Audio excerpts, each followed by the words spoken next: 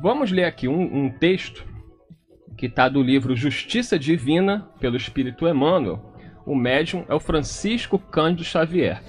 E esse texto é maravilhoso, que o Emmanuel vai fazer uma reflexão com a gente sobre o lugar depois da morte. Então vamos lá. Diz o Emmanuel: Muitas vezes perguntas na terra para onde seguirás quando a morte vem a surgir. Anseias, de certo, a ilha do repouso ou o lar da união com aqueles que mais amas. Sonhas o acesso à felicidade, a maneira da criança que suspira pelo colo materno. Isso, porém, é fácil de conhecer. Toda pessoa humana é aprendiz na escola da evolução, sob o uniforme da carne, constrangida ao cumprimento de certas obrigações nos compromissos do plano familiar, nas responsabilidades da, via, da vida pública, no campo dos negócios materiais, na luta pelo próprio sustento. O dever, no entanto, é impositivo da educação, que nos obriga a parecer o que ainda não somos, para sermos em liberdade aquilo que realmente devemos ser. Não ouvides assim enobrecer e iluminar o tempo que te pertence. Não nos propomos nivelar os homens e animais, contudo, numa comparação reconhecidamente incompleta, imaginemos seres outros da natureza trazidos ao regime do espírito encarnado na esfera física.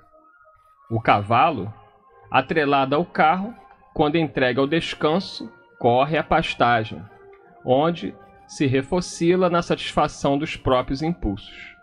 A serpente, presa para cooperar na fabricação de soro antiofídico, se libertada, desliza para a toca, onde reconstituirá o próprio veneno. O corvo, detido para observações, quando solto, volve à imundície. A abelha, retida em observação de apicultura, ao desembaraçar-se, torna incontinente à colmeia e ao trabalho. A andorinha, engaiolada para estudo, tão logo se veja fora da grade, voa no rumo da primavera. Se desejas saber quem és, observa o que pensas quando estás sem ninguém.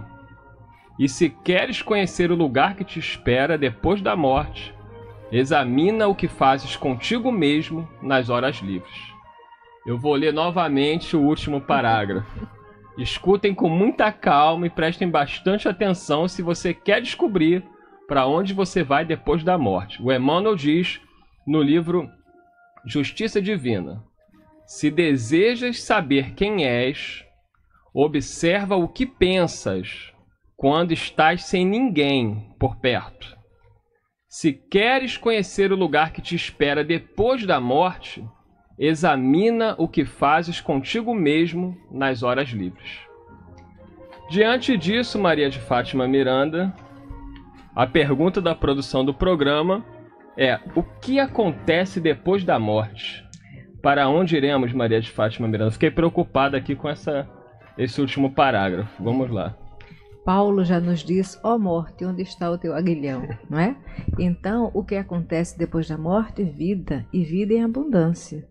Jesus também nos diz que onde estiver o nosso tesouro, aí está o nosso coração. E a última frase de Emmanuel não deixa margem a qualquer dúvida. No dia a dia, nós selecionamos a nossa companhia mental, não é? Nós priorizamos o que gostamos, o que não gostamos, onde vamos e com quem. Então, o fato do corpo físico perecer não quer dizer que o nosso íntimo modificou. Na realidade, a morte, ela só existe para agregação biológica, porque nós não temos muitas vidas, nós temos uma vida em vários episódios reencarnatórios. Então, desencarnar é desenfaixar-se de um uniforme no educandário Terra. Vamos ouvir agora o nosso companheiro Humberto Azarite Júnior, Humberto, o que, que acontece depois da morte? Para onde vamos? É a vida, né? A Miranda já deu até um spoiler que eu falar, né? Jesus falava onde está o vosso tesouro, aí está o vosso coração, porque o tesouro é aquilo que eu valorizo, né? O que tem valor para mim é onde eu estou, né? Onde é que está o meu sentimento. E aí é isso que a gente tem que refletir. Onde é que está o nosso sentimento, né? São, é apegado às coisas materiais que são necessárias, mas eu vivo em função delas ou estão nas coisas espirituais.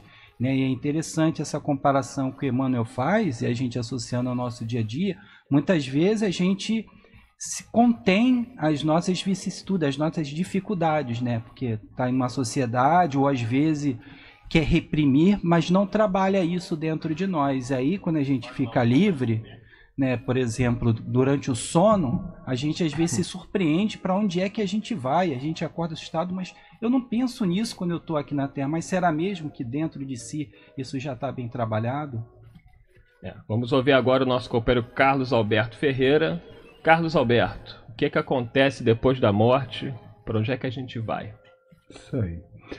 É, lembrando aqui também de uma passagem de Jesus: Deixai aos mortos enterrar seus próprios mortos.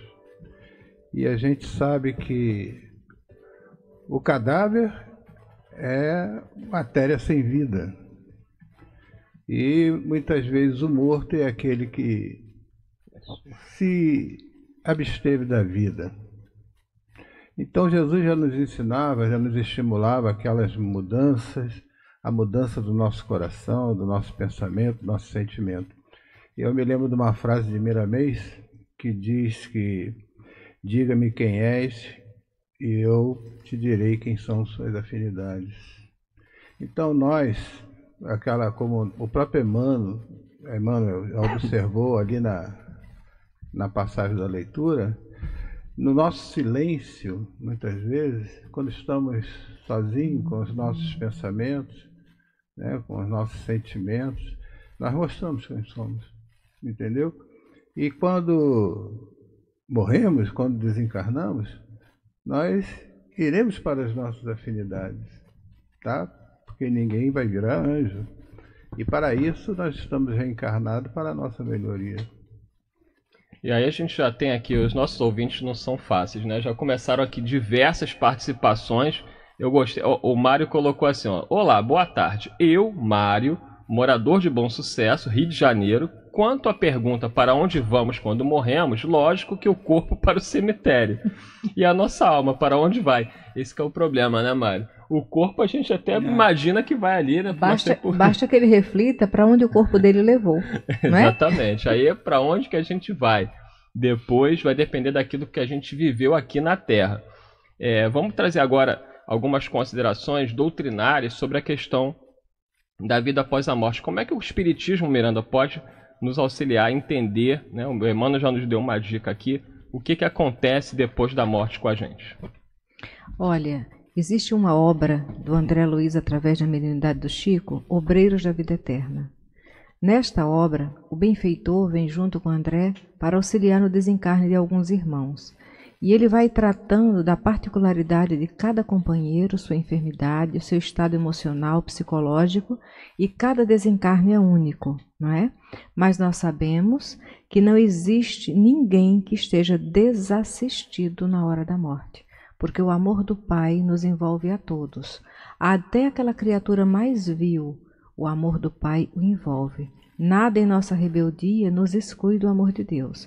Agora, como vamos nos sentir? Quem tiver interessado de verdade em compreender melhor isso, leia também o livro E a Vida Continua, onde André Luiz vai narrar o episódio de um casal, né, são dois espíritos, uma condição masculina e outra feminino, não são casados, mas eles estão juntos no hospital fazendo tratamento de câncer. E eles desencarnam e se veem dentro do hospital como se estivesse continuando o tratamento. Então, o momento pós-morte é muito particular de cada espírito, de acordo com a sua maturidade, seus valores e suas necessidades. Humberto, qual é a contribuição que a doutrina espírita nos traz para que nós possamos refletir sobre o que acontece depois da morte? É, Kardec fez uma pergunta com relação àqueles que conhecem o Espiritismo, se eles teriam algum privilégio. Na pergunta 165 de O Livro dos Espíritos, Kardec pergunta: o conhecimento do espiritismo exerce alguma influência sobre a duração mais ou menos longa da perturbação? E aí os espíritos respondem: influência muito grande. Por isso que o espírito já antecipadamente compreendia a situação, mas a prática do bem e a consciência pura são o que maior influência exerce. Ou seja, eu posso até conhecer a doutrina espírita, né, mas se eu não a vivencio, né, se eu entrei no espiritismo, mas o espiritismo não entrou em mim, isso de nada adianta. Pelo contrário, vou ter muito mais complicações. Inclusive, no Obreiros da Vida Eterna, tem uma senhora que fez companhia ao Dr. Bezerra de Menezes e está lá numa situação bem delicada. Ao passo que, por exemplo, no livro Os Mensageiros, o caso da dona Cremilda, né, que ela desencarnou, né, ela não era espírita e ela estava presa ao corpo ainda, né, digamos assim, ela não conseguia se libertar, e o marido dela, já desencarnado, a chamando, e ela não queria abrir os olhos. Até que o, o mentor do André Luiz falou: Não, deixa que eu cuide. Ele se apresentou para ela. Ela falou: Que bom que apareceu o um médico. Aí ele falou que sim, o um médico aplicou um passe nela. E aí, depois que ela dormiu, ele conseguiu retirá-la do corpo físico e aí entregou a noivo que a levou. Quer dizer, e ele fala: ela, apesar de não ter o conhecimento do espiritismo, e é por isso que ela passou por essa dificuldade de ficar presa ao corpo, mas ela, pela bem que fez durante toda a sua existência, teve todo o amparo e foi em companhia do, do noivo lá para um, algum local no mundo espiritual. Muito importante essa colocação do Humberto, lendo a questão do livro dos Espíritos, que mostra que não é a religião que vai ser algo preponderante para que estejamos bem após a nossa morte, após o nosso desencarne. Sim, a nossa conduta. Isso é deixado claro pelos Espíritos. Kardec traz isso para a gente mostrando que não há no plano espiritual privilégios. Né? Ninguém vai perguntar a gente qual foi a nossa religião. Vai perguntar o que, que nós fizemos da nossa vida. Na verdade, quem vai perguntar isso é a própria consciência. O Chico mesmo dizia que só vai receber em guichê diferente. Exatamente. É. Carlos Alberto, qual a contribuição da doutrina espírita para nos auxiliar no entendimento sobre a vida após a morte? Eu vou até aproveitar o, o teu gancho para me reportar a questão 159 do Livro dos Espíritos, é que Kardec pergunta que sensação experimenta a alma no momento em que se reconhece no mundo dos espíritos. E eles responderam a Kardec: depende. Se praticaste o mal com o desejo de o fazer, no primeiro momento te sentirás envergonhado de o haveres praticado. Para o justo é bem diferente. A alma se sente como que aliviada de grande peso, pois não teme nenhum olhar investigador. Então, essa é a nossa sensação. Cada um terá a sensação de acordo com que praticou, com o que desenvolveu dentro dessa mudança na sua vida, na sua reencarnação. Bem, Jesus também deixa muito claro né, que aqueles que praticam o mal, aqueles que seguem um caminho contrário à lei de Deus, que haverá prantos e ranger de dentes. É porque a lei é de amor, mas também é de justiça, não é, Miranda? A grande dificuldade para o espírito se desvencilhar é a questão do apego, seja ao patrimônio físico, seja aos afetos, né? e até as tarefas com as quais estão envolvidos. Nós nos lembramos da Otília Gonçalves, tem um livro que eu não estou lembrando o nome agora. A Terra e o Céu. Não. Não, é a Otília Gonçalves, companheira do Divaldo, ah, na Mansão do Caminho. Ela desencarna, ela passou um período de 15 a 30 dias ainda ligadas aos despojos, e Sheila, irmã de Liebe, estava ali o tempo inteiro. Mas a preocupação dela, de repente, não é? focada em alguma coisa que ela estava interessada desenvolvendo enquanto encarnada, dificultou o desligamento dos despojos físicos.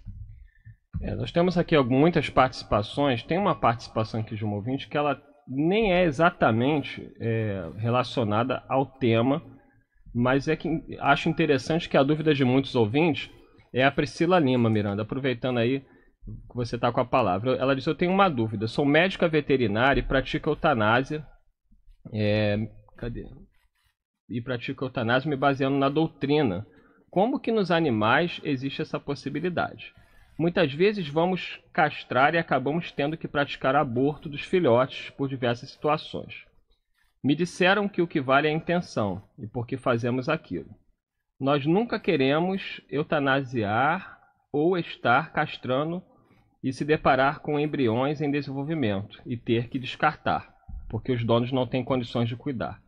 Sobre a eutanásia, sou bem resolvido e, como, é, e fica como último recurso para aliviar algumas doenças incuráveis e muito sofridas. Mas e sobre os animais que ainda não nasceram? Uma questão complexa, mas vale a pena a gente É, trazer. o ideal é que não se cometa o aborto. Esse é o ideal em tudo. A vida é prioridade em tudo, não é? Mas existem aquelas situações onde o cliente chega e nem diz que a cadelinha está grávida. Às vezes, no princípio da gestação, não tem como perceber. O veterinário mais atento e preocupado vai investigar, não é? Mas tem casos que a cadela cruza numa semana, o dono no outro dia leva para castrar. Então, é, o ideal é que priorize a vida, mas se não tem condições e o número de animais abandonados, que ela faça uma reflexão dentro dos princípios dela e observe, conversa com o proprietário e vê se não tem uma maneira de minimizar isso. Agora, em relação à eutanásia, ela deve, o ideal é que ela seja praticada quando o animal está eh, portando uma doença infecto-contagiosa, colocando em risco a vida do ser humano e de outros animais. Ainda sabendo que se essa doença dele tiver recursos de tratamento, ele deve ser isolado e ainda aí não se praticar eu- eutanásia, não é? Então essa justificativa está com câncer, está sofrendo muito. Nós sabemos que não é fácil para, o proprietário, para um proprietário aspas, porque tem gente que tem um animal como uma coisa. Mas não é fácil para alguém que tem um animalzinho em casa e ele entra no estado de câncer terminal e fica agonizando, é um martírio muito grande. Mas ali também é a oportunidade de nós devolvermos a ele toda a alegria que ele nos causou quando chegou saudável à nossa convivência. Eu tive a oportunidade de assistir o desencarne de uma cadela, onde eu vi os espíritos tirando ela do corpo. Entendeu? E ela estava num estado muito grave. Eu não podia fazer nada. Eu perguntei, meu Deus, o que é que eu posso fazer? A intuição que me deram, eu prestei o socorro, ela vomitou tudo que estava ali sobrecarregando.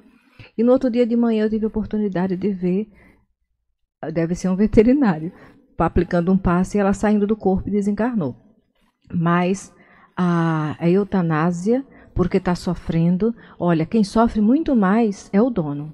Quem sofre muito mais é o companheiro encarnado daquele bichinho. Mas aproveita aquele momento para refletir. Porque, por maior que seja a dor de acompanhar um bichinho desencarnando, e quando é o nosso pai e o nosso filho? A gente manda praticar eutanásia porque está sofrendo muito? O ideal é que não. É, os espíritos sempre dizem pra gente que temos que trabalhar em defesa da vida. Nós compreendemos as situações excepcionais na questão do próprio aborto. Os espíritos vão dizer que o único caso em que é, se, pode, se pode pensar na possibilidade quando a vida da mãe está em risco. E mesmo assim, tem que, tem que se orar muito antes de tomar uma decisão como essa.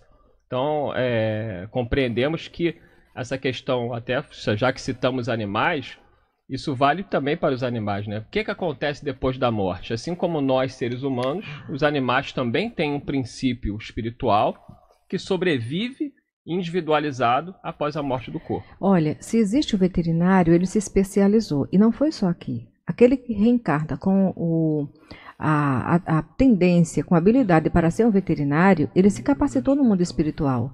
Então, existe colônias que acolhem os animais sim, porque nenhum médico veterinário ele se desenvolveu por si só aqui na Terra.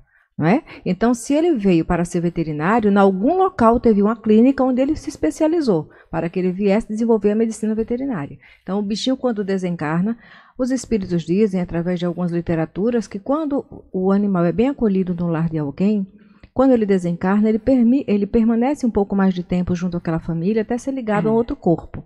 Os animais que são brutalizados, a misericórdia divina tem aqueles que recolhem eles. Temos ainda aqui diversas questões né, que vamos trabalhar no segundo bloco. É, eu vou ler aqui algumas delas. Né, ó. É possível saber para onde iremos após a morte? Já abordamos um pouco sobre isso. É possível reencontrar após a morte os entes queridos que nos precederam? No mundo espiritual, iremos lembrar da vida que deixamos aqui na Terra? Após a desencarnação, o espírito pode ficar preso à própria casa? Já tem até algumas participações aí falando sobre isso. Qual a maior dificuldade que podemos encontrar após a morte? E o que podemos fazer para chegar bem ao plano espiritual após o nosso desencarne? Então, traremos, traremos essas questões para vocês e também a dizer para Marina de Fragoso e Magé, que eu já estou aqui com a sua participação, uma participação É muito difícil, imagino para vocês esse momento, mas com certeza nós vamos dar uma palavra aqui, um esclarecimento da doutrina espírita. Já voltamos com o debate na Rio.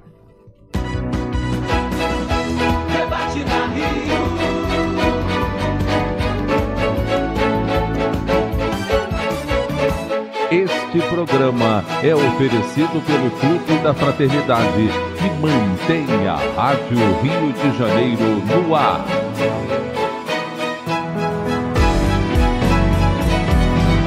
Rádio Rio de Janeiro,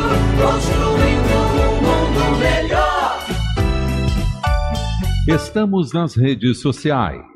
Diariamente, do meio-dia às cinco da tarde, transmitimos diversos programas ao vivo pelo Facebook. Você pode acompanhar curtindo, comentando e compartilhando cada vídeo para que mais e mais pessoas tomem conhecimento da rádio que toda a família pode ouvir. Todos esses vídeos estão disponíveis em nosso canal no YouTube. Visite nosso site e conheça melhor a nossa programação. Rádio Rio de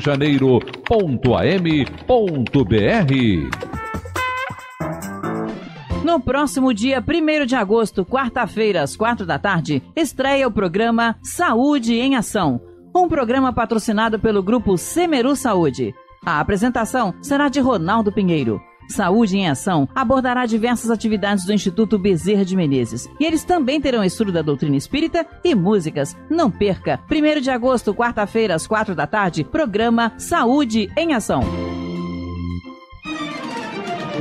Conheça a revista Cultura Espírita. A cada mês, artigos e crônicas sobre temas de diversos campos: filosofia, ciência, psicologia, espiritualidade, que ampliam o nosso conhecimento. E uma página especial em português e em esperanto. Cultura Espírita, grande circulação no Brasil e em mais 18 países. Leia e assine Revista Cultura Espírita, uma publicação do ICEB, Instituto de Cultura Espírita do Brasil. Informações e assinaturas 2224 1060 ou pelo e-mail revistaculturaespírita@gmail.com. Você que é empresário, pequeno ou grande porte, diretor comercial ou gerente de mídias de sua agência de publicidade, Coloque a Rádio Rio de Janeiro 1400 AM na sua programação de anúncios. Os ouvintes da Rádio Rio de Janeiro são formadores de opinião e podem fazer a diferença na divulgação e consumo dos seus produtos. Entre em contato pelo telefone DDD 21 3386 1404 ou pelo e-mail marketing arroba rádio Rio de Janeiro.am.br. Estamos esperando por vocês. Que diria o Cristo se viesse hoje entre nós? Essa e outras perguntas são respondidas por Kardec na obra A Gênese, que completa este ano 150 anos. Nos dias 12, 13 e 14 de outubro, venha participar do 5 Congresso Espírita do Rio de Janeiro. Faça já sua inscrição pelo site www.cerge.org.br. Chegou a tão esperada peça Paulo e Estevão, ou musical, de Chico Xavier pelo espírito de Emmanuel, com direção geral de Kaique Assunção. O elenco é de primeira linha, com a Natasha Mequena, Ariovaldo Filho, Kaique Assunção, Haroldo Mendonça e Marcelo Daimon. A apresentação será no dia 5 de agosto, domingo, às 17 horas, na Areninha Carioca, Hermeto Pascoal, Praça 1 de Maio, sem número em Bangu.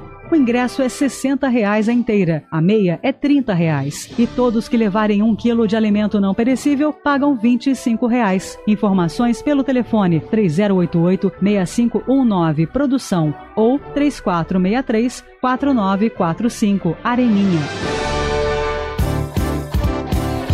ZYJ 462, Rádio Rio de Janeiro,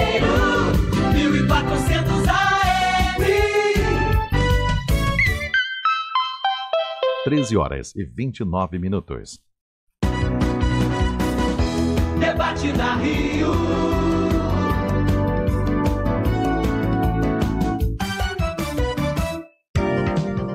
Apresentação Eduardo Araújo. Estamos de volta, prezados ouvintes, com o programa Debate na Rio, jornalismo espírita interativo no ar. Estamos falando sobre a vida após a morte. Eu estou na companhia da Maria de Fátima Miranda, à minha direita, à minha esquerda, Humberto Azarite Júnior e Carlos Alberto Ferreira. É, tem muitas participações aqui, mas continua aí aberto o telefone 3386-1400. A Xelinha já está lá anotando as ligações de vocês. 3386-1400. WhatsApp 98486-7633. 98486-7633. Também pode participar aí com a gente pelo Facebook, né? curtindo, comentando e compartilhando o programa. Tem muitas participações aqui, ó. A Ângela Madeira, eu gostei dessa aqui, a Miranda viu aqui, ó.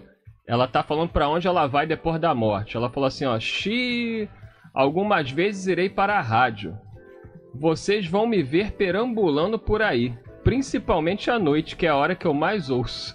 Aí, Maria de Fátima Miranda, se a gente encontrar a Angela Madeira perambulando pela rádio, já sabe que desencarnou. É, o vigia da noite. Temos que avisar Vai ele. ser vigia da Se rádio. mantenha tranquilo, é um ouvinte. Seja bem-vinda, Angela Madeira. Mas espero que você fique encarnada há bastante tempo ainda. É, tem, tem uma participação aqui. Humberto, cadê a participação dela aqui falando sobre ficar em casa, Ah, né? tá. É da Denise Santos. Denise Santos, fala aí pra a gente. Denise diz o seguinte: Eu acho que eu ficarei um longo tempo dentro de casa, preocupada com meus amores. Queria que não fosse assim, tentando trabalhar isso através do estudo.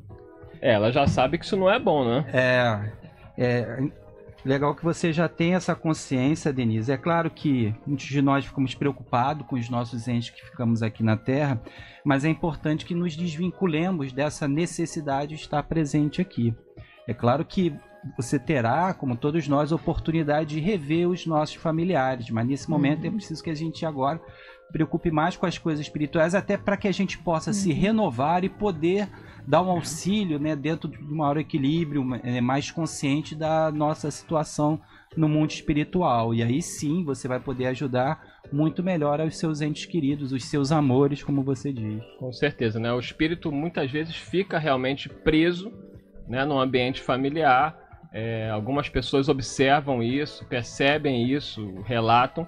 E evidentemente que isso não é bom para quem acabou de desencarnar, porque vai continuar preso às questões materiais, os problemas do dia a dia, e a pessoa não consegue se libertar, e isso traz uma perturbação muito grande para o espírito. Não é, Carlos Alberto? Isso aí.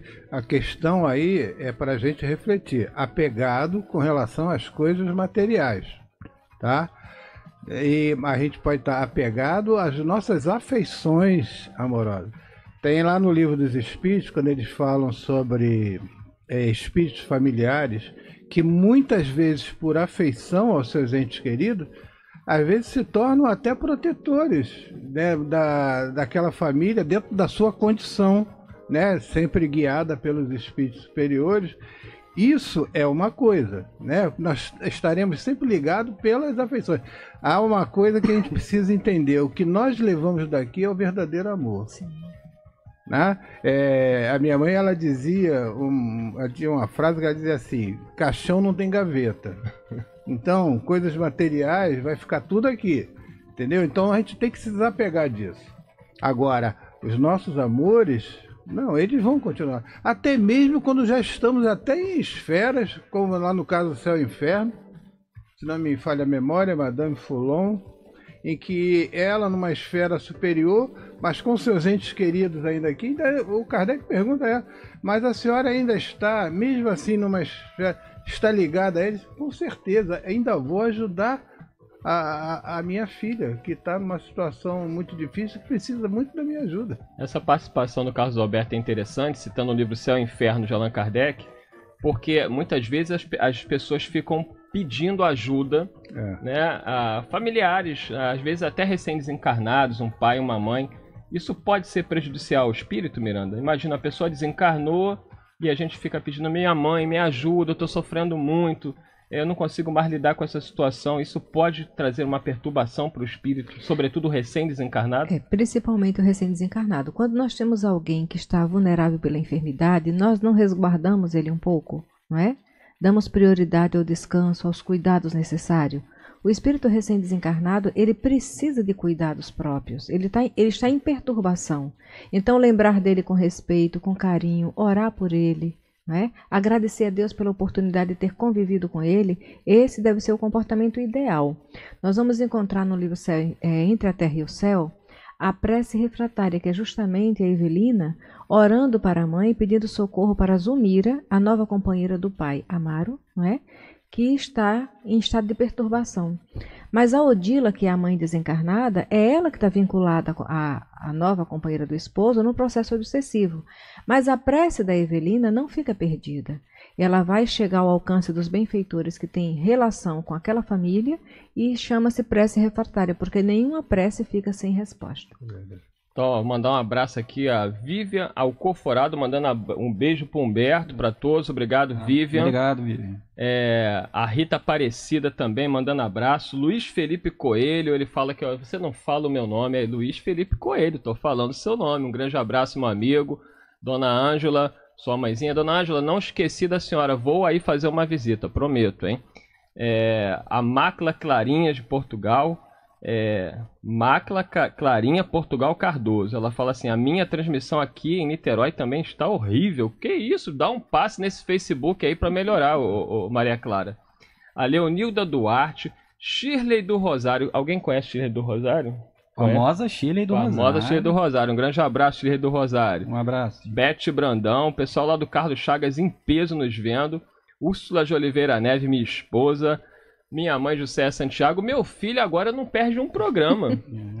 Quatro anos, um, um, beijo, Heitor Neves. E eu falo, tava falando com a Miranda que ele não só vê o programa, ele presta atenção. Ele veio me perguntar assim: o papai tem uma, uma ouvinte lá que é, de, é da Argentina? É, o nome dela é Marianela? Eu falei assim: gente, ele sabe até o nome da ouvinte. Ai, Marianela, até meu filho já te conhece, hein? Então é muito legal essa relação que a gente estabelece com ouvintes pelo Facebook, né? É, o compartilhamento que vocês fazem. É muito legal mesmo. Ó, a Shirley tá feliz que a gente falou o nome dela. então, mandar também abraço aqui para Denise Santos, mais uma vez.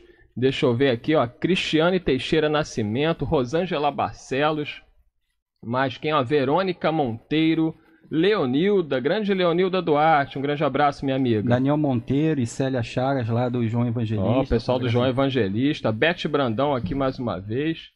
Miranda tá vendo aqui, ó. Úrsula de Oliveira Neves tá me corrigindo que eu não sei nem a idade do próprio filho, 5 anos. Eu, às vezes, eu faço aniversário e se ninguém me contar que é o meu aniversário, eu não vou saber. Aí a, a esposa entrou aqui e corrigiu, há 5 anos. Heitor, desculpa, 5 anos. ano que vem eu falo que quando ele fizer 6, eu digo que tem 5. É, Eliane Maria, Carmen Lúcia Rocha. É, a Carmen tá falando aqui que gosta dos nossos comentários. Obrigado, Carmen.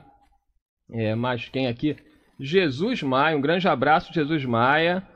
Daniel Monteiro, já foi falado aqui. A Leila Nicolau. Enfim, tem muita gente Moisés participando. Santos, mandando Moisés um grande abraço Santos, cadê nós. o? É, cadê um o grande Moisés? abraço para todos os queridos amigos. É isso aí. Agora vamos, como prometido, a pergunta aqui da, da Marina de Fragoso e Magé. Ela diz o seguinte: é, Estou na escuta do debate.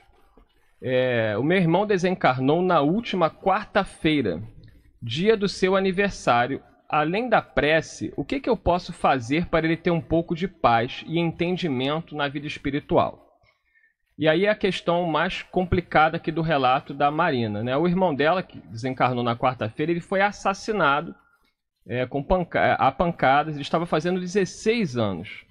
A mãe dela não se conforma, claro, né? Ela está lá escutando junto. É, obrigado por me ouvirem.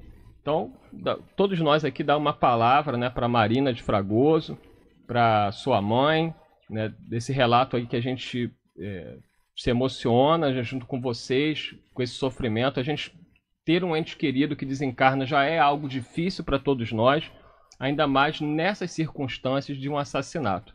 Maria de Fátima Miranda. A única coisa que eu posso falar é pedir a Maria de Nazaré que dê assistência ao coração dessa mãe. Entendeu? Porque nenhum de nós faz ideia do que ela está sentindo. São várias situações que vêm à mente, a emoção fica em desequilíbrio, mas falamos a irmã e a mãe que confiem em Deus. Orem por ele, agradeça a Jesus mais uma vez, que se seu filho morreu brutalizado, não foi ele quem brutalizou ninguém. Humberto Azariti. É, Marina e sua mãe, é, é importante você procurar emitir boas vibrações é, e não se preocupe com a forma como ele desencarnou. O importante é como ele vai ser recebido. Com certeza ele está com os parentes que antecederam vocês, estão cuidando dele. Né? Ele não passou por dores ao desencarnar, foi só aquele momento, era necessário. E é importante, sempre que vocês lembrarem dele, não lembrar desse final, Sim. porque a nossa vida né, é como se fosse aquele rolo de filme, né? É uma cena, né? É uma fotografia. Você lembrar de todos os momentos felizes que vocês viveram juntos, né? Toda uma vida, o quanto ele contribuiu para você, para sua mãe, o quanto ele proporcionou alegria a vocês e pode ter certeza, Marina, a dor da perda jamais será maior do que a alegria do reencontro, que vocês vão reencontrar, seja em pensamento e mais à frente no mundo espiritual. Carlos Alberto? É, essa, vamos dizer assim, desencarnes dolorosos, é, muitas vezes os espíritos eles nos dizem que há aquela inconsciência muitas vezes antes do desencarne. Mas se não há aquela inconsciência, a, a, a consciência desse desencarne é muito rápido, tá? Então, aquela, isso, acho que a, a gente fica assim pensando na, na, parte desse desencarne doloroso. O mais importante agora é que ninguém fica sem o amparo, sem a, a ajuda do plano espiritual. E com toda certeza, amparado através até das vibrações de amor, de, do, pensamento dos seus entes queridos, amparado está pela espiritualidade esse companheiro. E haverá o dia e que saberemos que ele irá dizer assim: está tudo bem, tá? Vamos seguir em frente. Com certeza. A gente tem que lembrar também a Marina, sua mãe, né, que Jesus desencarnou né, de uma forma também muito difícil, dolorosa, crucificado. E não é a forma como nós desencarnamos que vai ditar aquilo que vai ser a realidade nossa no plano espiritual. É, com certeza foi um resgate né, doloroso, difícil, mas é melhor que o seu filho tenha voltado é, assassinado do que ter sido ele aquele que cometeu o assassinato.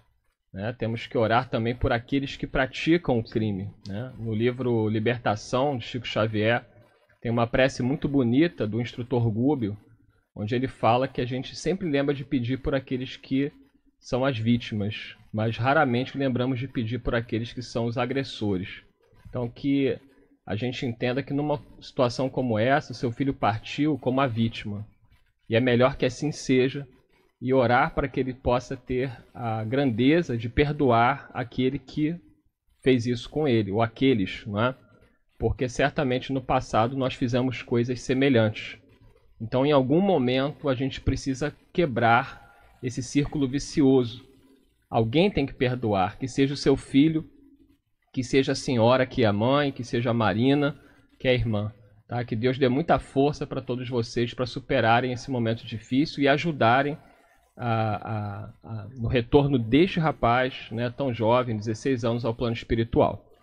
Então vamos continuar aqui. Eu não sei como é que nós vamos fazer para dar conta de tanta participação. É, enquanto você fala, uma sugestão de leitura para os ouvintes, além de todas as obras aqui já mencionadas, mas o Céu e o Inferno, em particular, a segunda parte, em que Kardec traz relato dos espíritos através das reuniões que ele fazia na Sociedade de Estudos Espíritas de Paris, e Kardec divide por categoria. Então você vai ver relato de espíritos felizes, medianos, suicidas, sofredores, que aí é mais um estudo para a gente em ver como é que a gente está, como é que está a nossa situação. Então é um, material de grande aprendizado para todos nós.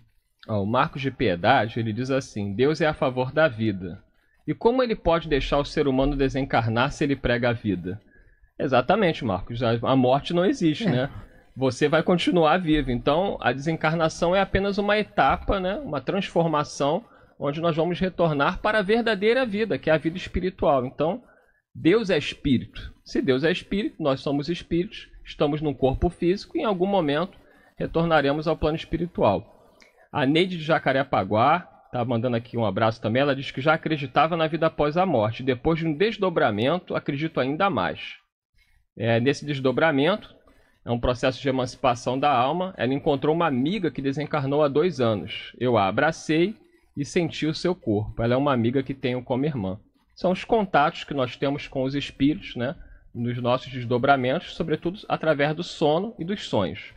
Maura de Bento Ribeiro, ela diz: Se sempre vem alguém nos receber quando desencarnamos, por que alguns espíritos ficam vagando aqui na Terra? Aí é uma questão relativa, né? Alguém vai nos receber. Agora, quem? A quem a gente foi, fez jus de ter a companhia no plano espiritual? Evidentemente que Jesus fala: onde colocar o teu tesouro, aí está o teu coração. Se o nosso tesouro está nas coisas materiais, nós vamos ficar presos às coisas materiais. André Luiz, é, desencarnado, ele questionou a mãe, né, questionou o instrutor Clarencio, por que, que ninguém foi vê-lo. Ele ficou oito anos na região umbralina. E o Clarencio fala para ele assim: tua mãe te, vi, te via todos os dias e eu também. Mas ele não os enxergava.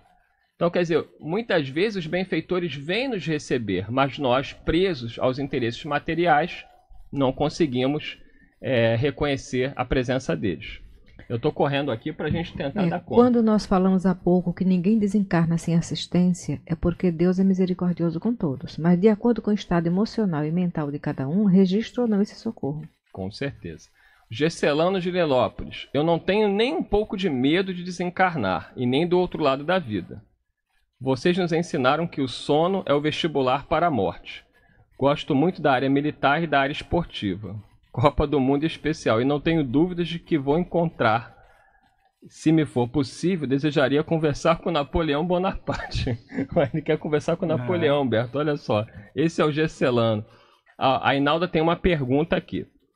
Da Penha, a Inalda da Penha. Sou espírita e gostaria que vocês indicassem um centro espírita que faça psicografia, pois gostaria de saber como está minha mãe. Muito interessante essa participação, porque é um desejo nosso que estamos aqui encarnados de saber como está o nosso familiar desencarnado. Carlos Alberto, não é tão simples assim, né? Kardec já deixou isso muito claro de que não é só chegar, é, chamar para obter uma psicografia. No livro dos médios, Kardec vai dizer que essa questão é complexa porque você tem que ter um médium que ele chama de um médium especial, que tem essa possibilidade e que são raríssimos, como Chico Xavier, por exemplo.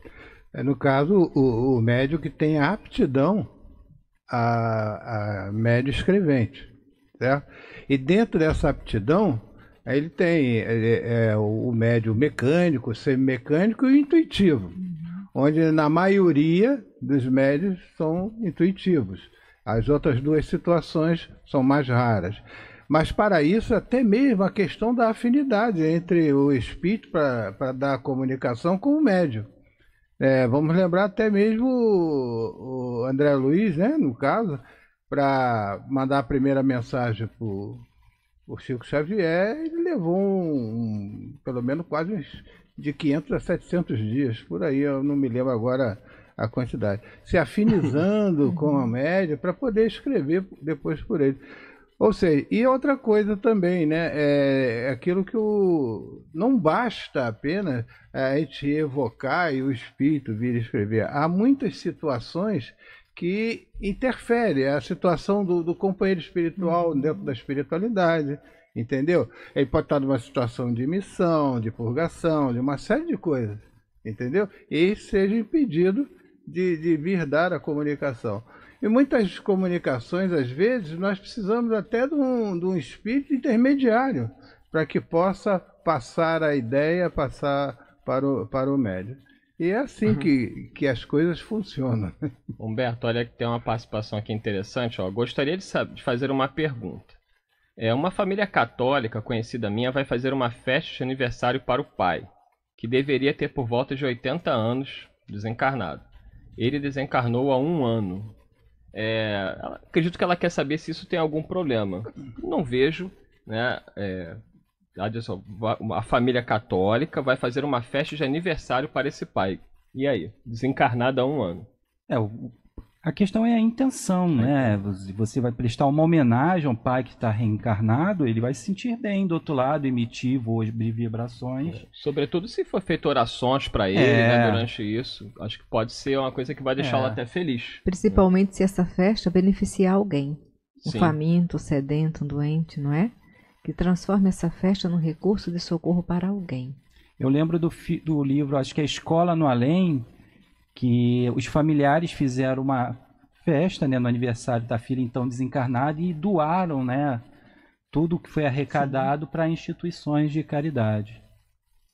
Gente, olha, eu tô aqui é, nervoso tentando filtrar a mensagem de vocês, é muita mensagem, mas vamos agradecer pelo menos ao Fernando Barradas, deixa eu ver aqui, ó, a Tereza da União Rio Pedrense, a Patrícia da Tijuca, a Valéria Bente, mas quem aqui, ó, Centro Espírita Joaquim Murtinho, tá pedindo a Maria de Fátima Miranda para olhar o Messenger e autorizar a liberação da, da, da, palestra que você vai fazer lá. Ela, ela não tem jeito, não. Eu estou falando contigo. Então, vamos, ela vai olhar aqui. Será providenciado. Será providenciado. O Vinícius de Irajá, um grande abraço. É, Vald, Valdinir de Lilópolis, Adriana da Vila da Penha, Maria Clarice, um grande abraço. A Márcia com a Maria Clara lá nos ouvindo também. Cristianes de Campinas, São Paulo. É, a Inês da Abolição, Rejane de Genópolis, a Silvana, Rogério do Flamengo, Maria de Fátima. Tá dizendo aqui que o livro que a Miranda citou lá no início, da Otília Gonçalves, é o Além da Morte. Enfim, muita gente aqui, a Lucimar do Flamengo, pelo menos para dizer o nome de vocês que estão participando. Vamos deixar agora as considerações finais. E aí, Maria de Fátima Miranda? Olha, peçamos a Deus que saibamos a aproveitar a oportunidade enquanto estamos, não é? No corpo físico, logo mais pode ser noite em nossa jornada. E se o dia a dia for bem aproveitado de forma responsável, à noite a estrela vai estar no céu. Humberto Azarite. É, lembrando a recomendação do nosso mestre, acumular tesouros no céu, onde nem a ferrugem nem os vermes os comem. Então, vivemos a vida utilizando das coisas materiais, mas não vivendo em função dela e sim conquistando o nosso tesouro é, lá no mundo espiritual, que aí sim, lá é que nós vamos mostrar quem nós somos realmente de fato. Carlos e, Alberto. Eu quero é, dizer a todos que, na realidade, os espíritos ensinam que o bem consiste no único objetivo da vida. Então, que a gente trabalhe esse bem em nós para que possamos é, retornar à parte espiritual de uma forma melhor, de uma forma mais positiva. É, a Patrícia da Tijuca está aqui pedindo, pelo amor de Deus, ela pergunta toda hora se ela vai reencontrar os animais de estimação no plano espiritual. E aí, Miran? Olha, eles também evoluem, né? Não ficaram cristalizados esperando seu retorno. Então não dá para ninguém afirmar categoricamente isso. Deixa eu ver aqui, ó. Tem, tem um irmão aqui que mandou. A parte, sua participação está enorme. Ele está citando um monte de coisa aqui. Eu vou tentar ler depois com calma. Ele está perguntando sobre o cordão de prata. Enfim, todos nós uh, temos um cordão fluídico né, que liga o espírito, o corpo. Esse cordão é desatado o laço com a, a, a ocasião da morte. Então, no plano espiritual, os espíritos até reconhecem quem está desencarnado ou não através desse cordão de prata aí. Quando a gente está encarnado, é como se fosse um cordão umbilical que nos liga ao corpo. O desencarnado não tem isso. A Patrícia está agradecendo aqui a resposta. É, vamos lembrar, né? Tá tocando a musiquinha do Claudinho aí, mas ele começou a me ameaçar com essa música faltando muito tempo. Falta um minuto e meio ainda, hein, Claudinho? Ah, tá. Então tá bom. Vamos lembrar de Jesus, né? Jesus, mais do que ninguém, provou para todos nós que a vida continua. Né? Jesus prometia toda a felicidade do mundo para aqueles que cumprissem a lei de Deus, não aqui na terra, mas ele falava nas bem-aventuranças para aqueles que fossem fiéis à lei divina e receberiam no plano espiritual a recompensa pelos seus esforços. Jesus não era bem compreendido até o momento em que ele desencarna na cruz e ele volta, assim como ele havia prometido. E quando ele aparece aos seus apóstolos, e Tomé não acreditou. Tomé ficou olhando, mas será que é ele mesmo? Porque para eles ainda era incompreensível essa questão da vida após a morte. Não era uma coisa clara. E Jesus estende as mãos a Tomé e fala: Toque-me, se assim acreditarás. Mas ele diz: Bem-aventurados aqueles que não viram e creram. A partir dali, não só Tomé, como todos os apóstolos, tomaram uma energia nova e começaram a divulgar oferecendo suas próprias vidas à causa do Evangelho. Então Jesus provou que a vida continue. Continua. Acreditemos nisso. Seja para o nosso momento de partida, seja para o nosso ente querido que desencarnou. A vida continua sempre. Agora busquemos viver bem para morrer bem. Isso está na mão de cada um de nós. Que Jesus nos ampare, nos ajude, para que o dia que nós partirmos possamos retornar ao plano espiritual com a cabeça erguida. Muita paz a todos, até o próximo debate na Rio, quinta-feira, com o nosso companheiro André Afonso Monteiro. Muita paz a todos. Debate na Rio.